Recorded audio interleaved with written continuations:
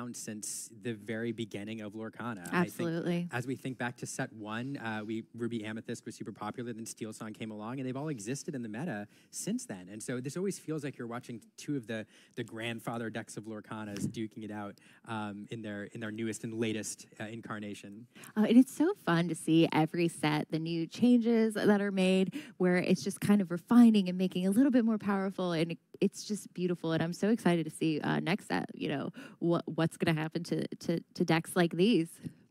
Absolutely.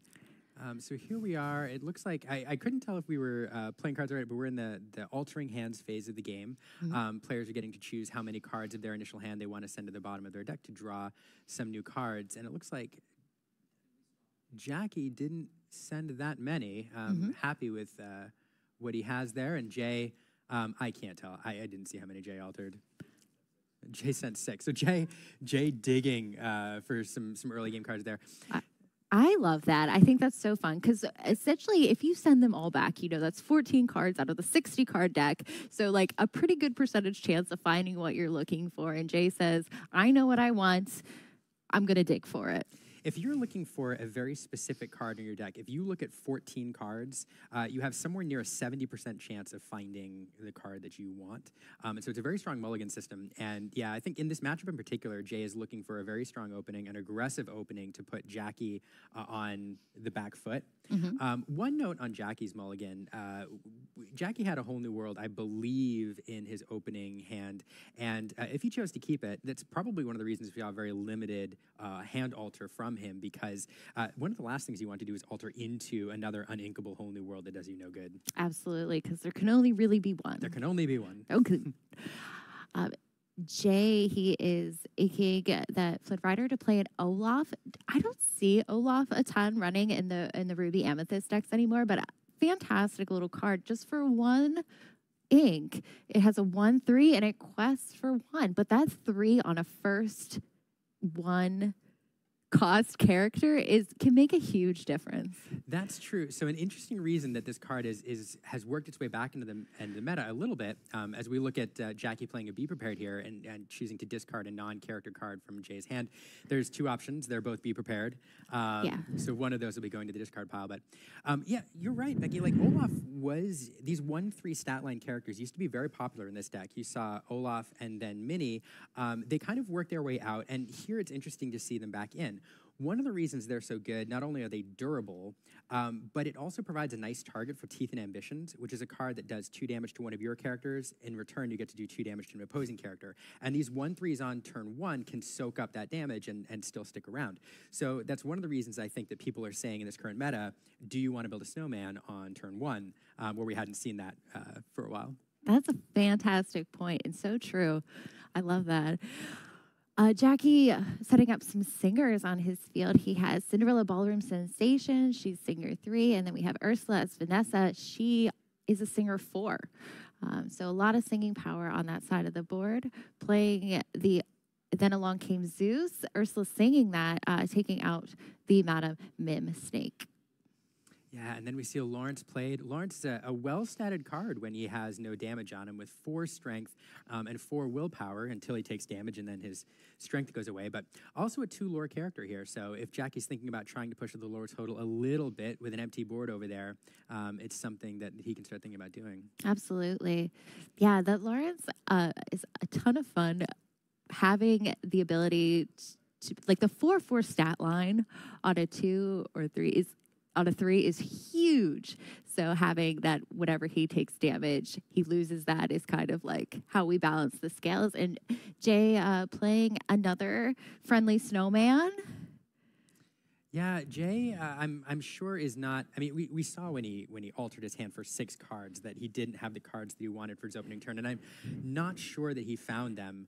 Um, the snake line is a is a fun little line to get a well-statted character out there on turn two, but I do think that these days these Ruby Amethyst decks, um, even into this matchup, want to be pursuing that frenemy Sisu line, um, and so not having that available, I think Jay's just trying to get some characters on the board, get some things to stick, um, and then maybe work his way into some rabbits in the mid game to propel him to the end game.